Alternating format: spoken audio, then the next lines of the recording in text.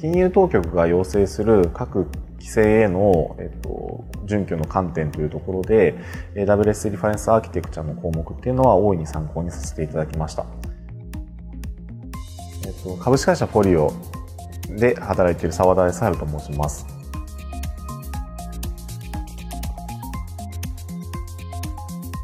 えっと、株式会社ポリオは資産運用バリアフリーにをミッションに2017年の7月にはテーマ投資サービスをリリースしましてえー、VR や京都といった、えっと、多彩な多彩なテーマに対して、えっと、10万円前後から投資をできるような、えっと、サービスを提供しております。もともとオンプレミスベースで、えー、構築しておりまして、2017年の8月頃から、えっと、段階的なクラウド環境への移行を始めました。我々のシステムは証券取引に関わるシステムであるため、移行の際には一貫性ですとか、えー、と接続性っていうのを逐一チェックしながら段階的な移行を進めました。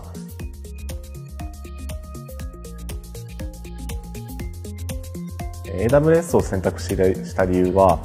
金融規制の対応が進んでいることとマネージドサービスのが多彩であり実績も豊富であることの2つです。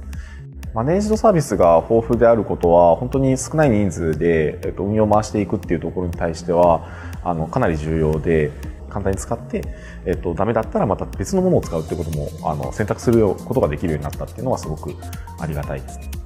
また AWS Well Architected Framework っていうものを、えっと、利用させていただくことによって弊社での問題点ですとかっていうものを網羅的にあの見ることができるようになった見ることが可能になったかなと思っております。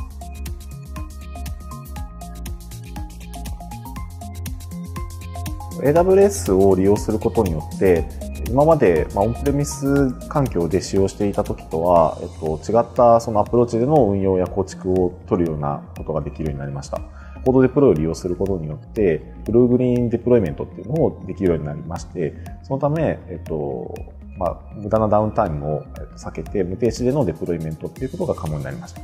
簡単にインスタンスの準備っていうものことができるようになった結果、えっとまあ、突発的な広告露出ですとか、まあ、予予期できないアクセスに対しても、えっと、柔軟性を持って対応することができるようにできることが可能になりました。その他にも、ガードデューティーや AWS シールドといった製品を使用することによって、様々なベンダーの、えっと、セキュリティ製品を組み合わせて使う必要がなくなり、ワンストップで AWS での提供をすることが可能になりました。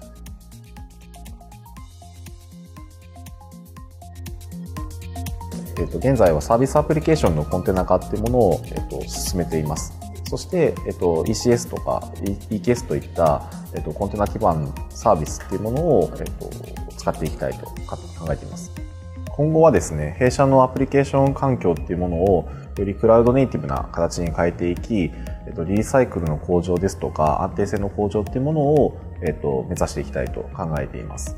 クラウド活用を進めることでお客様に安心安全な金融サービスの提供を今後も続けていけるようにしたいと考えています。